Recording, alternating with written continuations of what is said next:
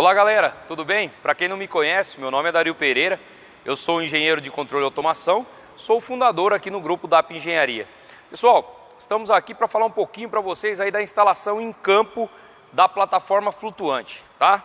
Mas antes de iniciarmos esse assunto, já vai se inscrevendo no canal, deixando o seu like aí e ativando os sininhos, tá? Sininho de notificação aí, porque toda terça e toda quinta tem vídeo novo.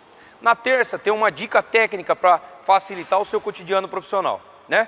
E na quinta tem um vídeo sobre o assunto na íntegra, falando a respeito aí, vamos ter automação, é, engenharia civil, vamos ter uma série de empreendedorismo, né? Vai ter muita coisa legal aqui. Vamos lá? Vamos ver então como ficou a instalação em campo da plataforma flutuante. Vamos junto. Galera, para instalação em campo, né, a palavra-chave é como nós já vimos aí no canal, é o planejamento, certo? Então, se você vai para instalar, fazer essa instalação agora pós-fabricação, né, e galvanização da plataforma, nós vamos entrar na instalação em campo. Essa instalação em campo eu já tenho que fazer um outro planejamento. Eu tive o planejamento de fabricação lá atrás e agora eu tenho o planejamento de instalação em campo, né? envolve materiais, insumos, mão de obra, certo? E algumas coisas é, relacionadas a pessoas, como em muitos projetos se envolve aí estadia, alimentação, né, o transporte, é, a, eu tenho a minha mobilização, porque agora eu não estou dentro da minha fábrica aqui, eu tenho a minha mobilização. O que, que eu vou levar nessa mobilização? Ferramentas, materiais, né? Todos os insumos, os equipamentos, máquinas de solda, é, equipamentos de corte, dobra e tudo, tudo que eu precisar em campo. Né? Eu tenho que, que fazer aí, o meu planejamento tem que gerar um checklist para o meu pessoal aí de almoxarifado estar separando materiais, ferramentas e insumos, certo? E aí a mão de obra já fazer essa mobilização, disponibilidade de mão de obra para campo e começar a execução aí em campo certo? O planejamento, né, ele vai prever aí ou predizer algumas adversidades que você vai encontrar em campo. Então, se você tem um, um, um equipamento muito grande, como uma plataforma flutuante que tem vigas, né, vigas W de 300, é bem complicado fazer uma furação na furadeira manual. Então, eu já tenho que prever que eu vou ter que levar uma furadeira de base magnética para fazer essa furação. Senão vai ficar bem complicado é, não vou ter qualidade na minha fura, na, na, qualidade na furação, vou danificar a minha broca, certo? E vou, é, vou causar um certo estresse na mão de obra, no, no corpo técnico, porque eu não vou conseguir executar com, com excelência essa furação. Então, quando o planejamento já faz todo, né, todo o seu trabalho, ele já prevê essas ferramentas né, e equipamentos para não ter esse tipo de problema em campo. É claro, pessoal, que sempre tem, imprevistos acontecem, mas você tem que ter uma equipe, você tem que confiar na sua equipe e ter um corpo técnico né, muito bom para lidar o dia a dia com esses tipos de problemas. Né? Galera, a instalação em campo, ela não é menos importante que a fabricação. Na verdade, é agora né, que nós vamos ver a, a, montagem física ali, né, no ambiente que ele vai trabalhar, certo? Essa é instalação em campo. Então, o que, o que acontece? Nós temos que prezar muito pela qualidade da instalação em campo, né? Essa qualidade, nós já temos ela na, na modelagem, certo?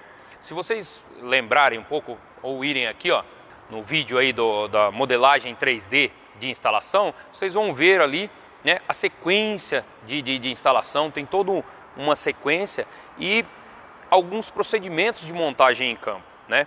Nós temos os ajustes, né? Temos como é uma situação é, galvanizada, não tem mais solda, tá, pessoal? Agora não tem mais solda. O que tem é montagem com parafuso, né? É, fura, alguma, alguma furação, algum tipo de, de ajuste assim bem pequeno. Esse projeto, como ele é galvanizado a fogo, ele tem essa peculiaridade de não ter mais solda lá em campo, tá? Agora não tem mais solda. Então, o que acontece? É, nós começamos essa montagem, fizemos toda ela, né? O guindaste veio, fez o içamento. Então nós fizemos todo esse trabalho, né? Tivemos a, a mobilização de ferramentas e tudo mais. fizemos o trabalho, executamos e prezamos também pela qualidade, sempre pela qualidade né, e eficiência do equipamento. Ao final, nós fazemos um checklist aí, tem que estar tudo, né, tudo de acordo com o projeto e ter o aceite aí do, do cliente, certo?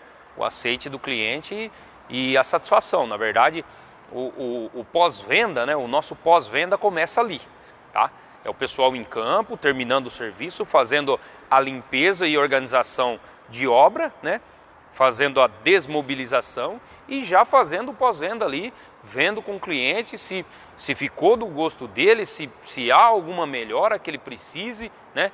É, se há algum adendo a fazer na, da, da execução e tudo mais. Mas correu tudo bem, é um projeto muito legal, tá?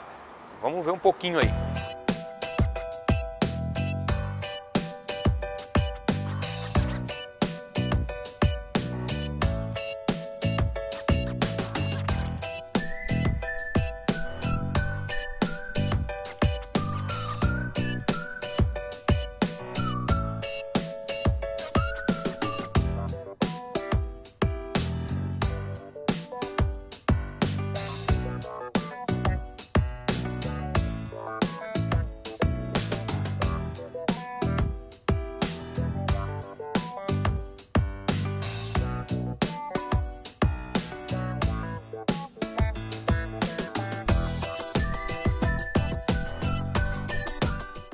Então, galera, esse foi o vídeo de hoje. Espero que tenham gostado. Falamos aí, estamos terminando a nossa série de vídeos da plataforma flutuante.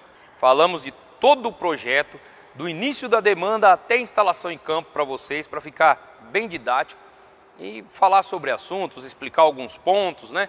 trocar experiência com profissionais. Os profissionais estão vindo até nós, estão querendo ajudar no projeto. É muito legal isso, eu fico muito feliz.